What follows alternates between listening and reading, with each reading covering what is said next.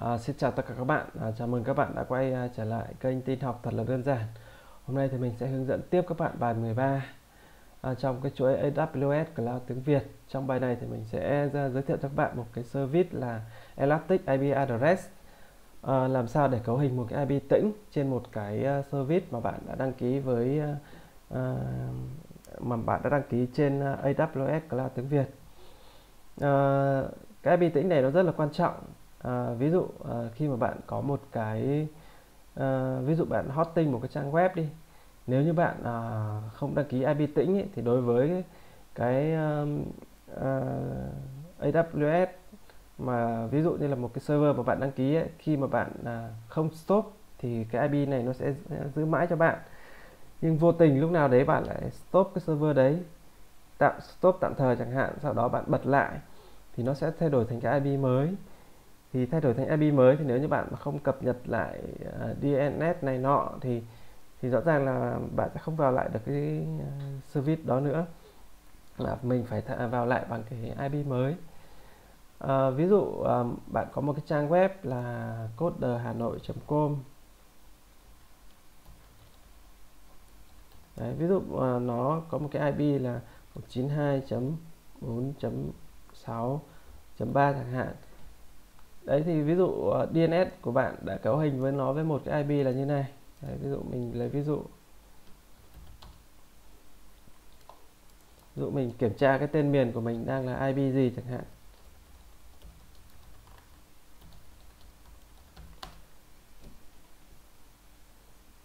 Đấy ví dụ nó đang là IP như này đúng không? Đấy ví dụ như là bây giờ bạn mà stop đi bạn bật lại thì chắc chắn nó sẽ ra một cái IP khác đấy chính vì vậy là mình phải cấu hình uh, reservation cái IP này. Có nghĩa là keep cái IP này để, để dù các bạn uh, có stop server thì nó cũng không bị thay đổi. Thì cái service này uh, nó rất là quan trọng. Vì vậy khi mà các bạn uh, làm server cho khách hàng thì các bạn phải báo giá luôn cái Elastic IP address này cho khách hàng nhé. Vì là nó sẽ mất phí đấy. Ok bây giờ mình sẽ hướng dẫn các bạn trên uh, cloud thật để cho các bạn dễ hình dung.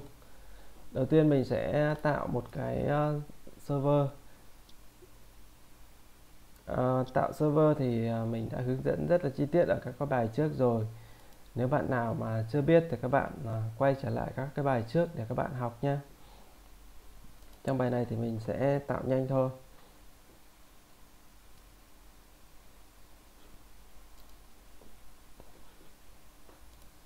Đấy.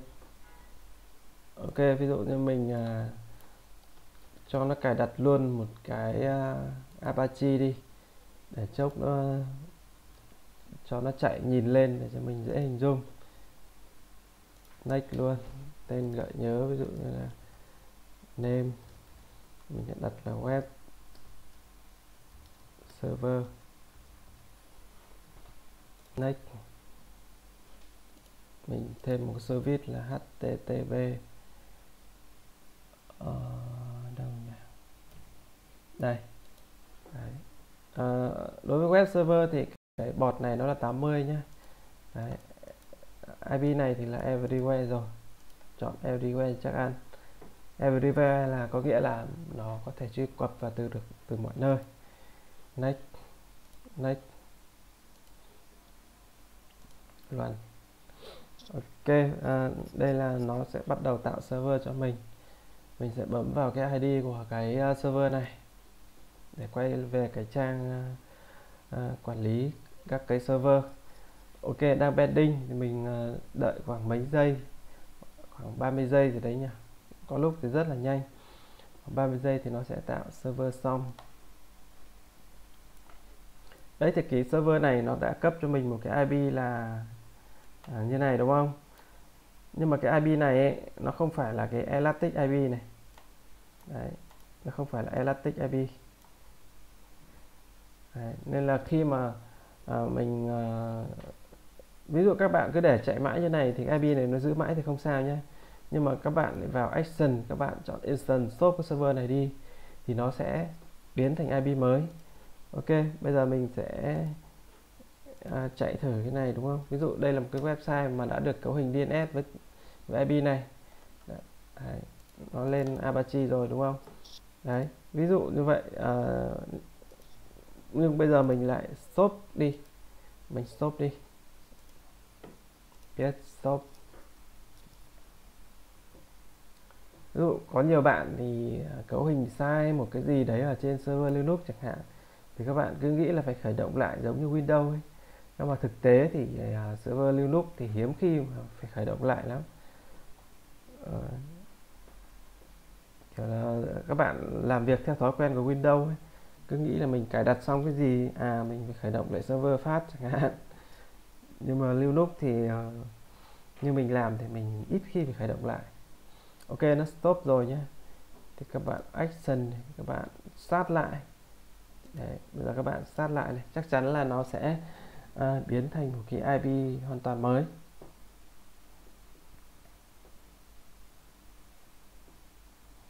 Các bạn đợi chút để cho nó khởi động lại.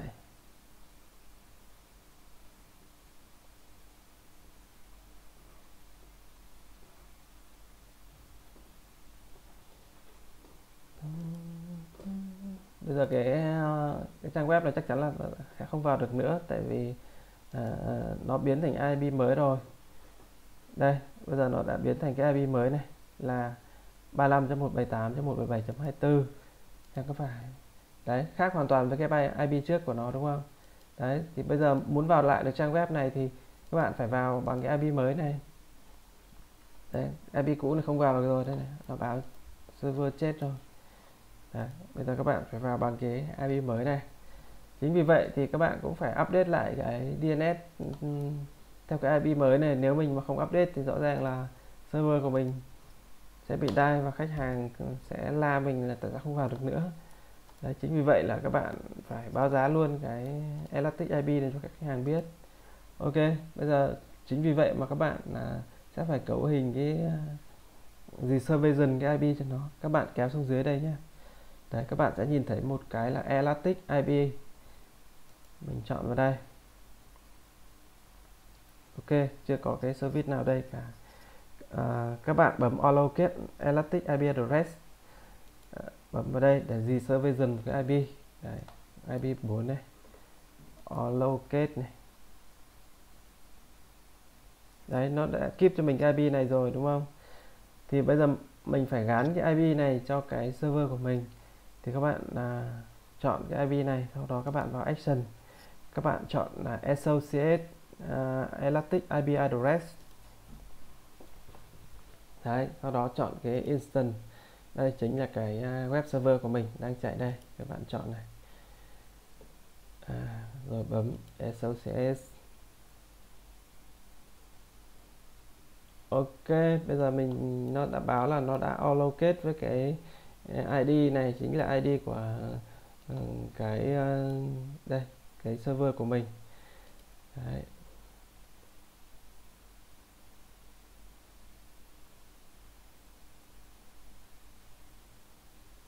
Mình quay lại server nhé. Để mình xem cái IP mới này. Đấy các bạn à, nhìn thấy cái Elastic IP address này. Đây chính là 3.11.2 24.139 có đúng không nhá? Đấy chính là nó này. Thì cái IP này nó là Elastic IP thì cái IP này ấy, khi mà server stop thoải mái cũng không bị biến mất. Đấy bây giờ mình vào bằng IP mới này. IP cũ thì chắc chắn nó chết rồi này. Vì nó đã thay cái Elastic chính là static IP vào cho mình. Đấy thành IP mới rồi đúng không? Bây giờ mình thử uh, à, stop server xem là cái IP này có bị mất không nhé chắc chắn là không bị mất. Đấy sẽ uh, keep forever luôn. Nhưng mà nó giữ như này thì đương nhiên là nó sẽ bị mất tiền nó sẽ tính phí hàng tháng cho mình. Thành ra khi mà không dùng thì các bạn phải xóa đi. Ok giờ các bạn đợi nó stop tí sau đó mình sẽ bật lại.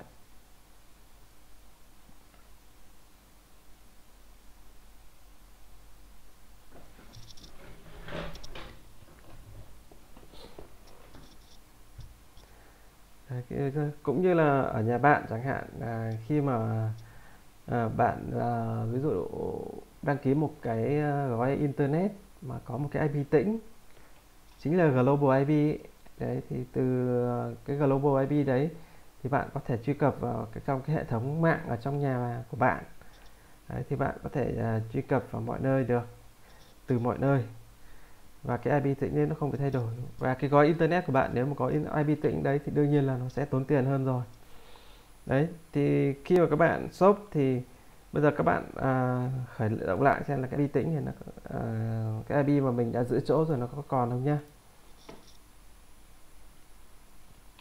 Yết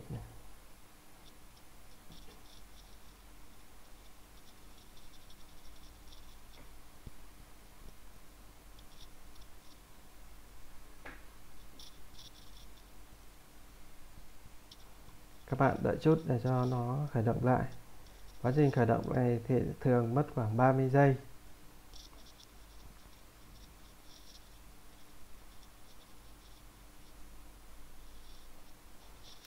Ok à, các bạn thấy không? Nó vẫn giữ nguyên cái IP cũ này.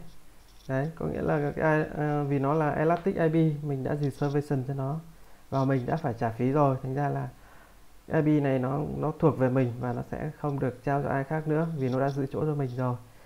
Mình quay lại này đây, vẫn vào web bình thường luôn. Đấy vào bình thường đúng không? Ok à, bây giờ mình à, ví dụ mình không muốn dùng nó nữa bây giờ mình gỡ nó ra đi để cho đỡ tốn tiền chẳng hạn. Đấy, thì các bạn lại quay lại cái elastic IP này. Các bạn chọn nó và chọn uh, uh, chọn action này. Các bạn sẽ chọn uh, did associate cái elastic IP address có nghĩa là mình uh, did associate là mình loại nó ra khỏi cái cái server của mình nhé. Có nghĩa là mình sẽ cho server của mình quay về public IP à không phải uh, quay về cái IP động có nghĩa là ừ, không giữ chỗ IP nữa. Đấy mình quay lại server xem đã bị mất chưa này. Đấy nó đổi thành IP mới này. Đấy. còn IP cũ của nó là như này ok bây giờ mình xóa hẳn nó đi. Vì các bạn à, để như này là các bạn bị vẫn bị mất tiền kể cả các bạn không sử dụng vì mình đang giữ riêng cho mình rồi đúng không? Đấy nên mình các bạn phải vào đây. Các bạn chọn gì uh, delete LXMP address có nghĩa là mình sẽ xóa hẳn nó đi. Delete ok mất rồi đúng không? Đấy. Và cái uh, instant này mình tạo ra để cho các bạn thực hành nên mình cũng xóa đi để tránh mất tiền terminated là xóa hẳn luôn nhé là nó sẽ xóa hẳn đi đấy nên các bạn cẩn thận ok thì uh, trên đây là cả, toàn bộ cái bài về Elastic IP address À, ok, bài của mình uh, hướng dẫn đến đây là kết thúc rồi. Các bạn thấy hay thì uh, cho mình xin một like và share để cho mọi người cùng được học uh, miễn phí nha. Và nếu các bạn uh, ủng hộ mình thì uh, subscribe cái kênh của mình để uh, mình sẽ ra nhiều các cái uh, hướng dẫn hay nữa để phục vụ cho các bạn. Ok, xin cảm ơn các bạn và hẹn gặp lại các bạn trong các cái video tiếp theo.